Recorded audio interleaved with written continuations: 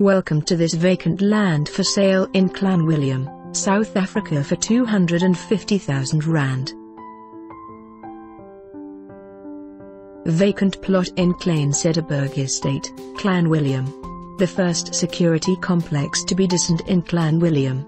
This vacant plot is situated in a very quiet area of the town close to the river and has beautiful mountain views.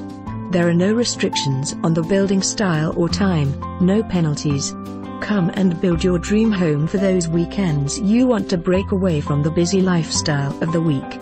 Clanwilliam is a town in the Olifants River Valley in the Western Cape, South Africa, about 200 kilometers 120 miles north of Cape Town. It is located in, and the seat of, the Cederberg local municipality.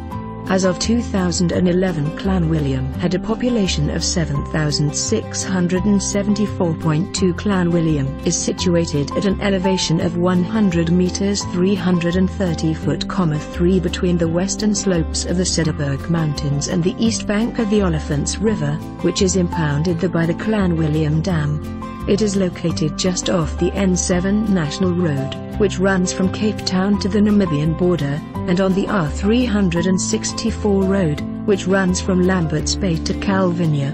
Clanwilliam is 230 kilometers 140 miles from Cape Town by road. Clanwilliam is the birthplace of ZP Theart, former lead vocalist, and founding member of the British power metal band Dragon For more information on this property or to arrange a viewing please contact us.